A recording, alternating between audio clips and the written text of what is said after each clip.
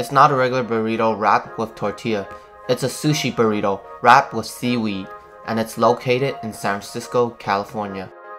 What's up travel heads, it's Brian for Life of BD and we are here at Sushirrito in San Francisco and you're wondering what this place is, it's a sushi burrito. Yeah, you heard that right, the first ever sushi burrito restaurant. It's like a burrito, it's wrapped but not with a tortilla. It's wrapped with rice and seaweed with the stuffing inside like the crab meat to fill it up and whatever other type of sashimi or meat you choose. I don't eat raw so I have a few friends here joining me to eat the raw one while I eat the cooked one. So let's get it. Sushirrito is a popular sushi burrito restaurant with only six of them all located in the Bay Area.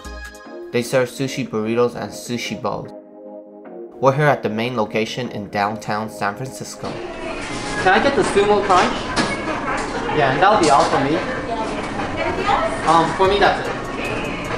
Sumo crunch because I don't eat raw. Sumo Crunch is a non-raw sushi burrito stuffed with shrimp tempura and surimi crab as its base. It also includes cucumbers and sriracha aioli topped it with red tempura flakes.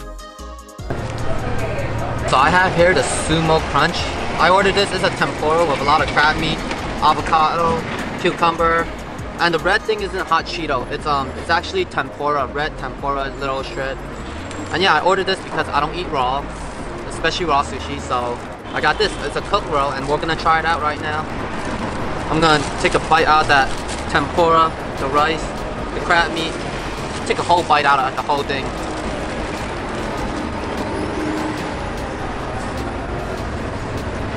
Instantly you could um taste the crab meat in it.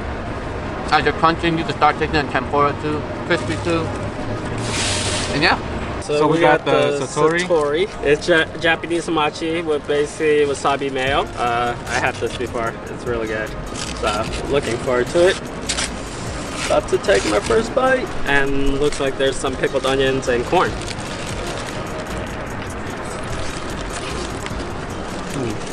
The fish is really fresh. I like the ginger. The ginger in here.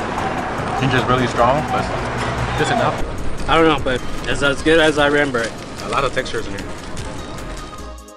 On our next video, we're going to try trending Korean street cheese corn dog from Xmart. So consider subscribing and give us a thumbs up. Until then, travel heads.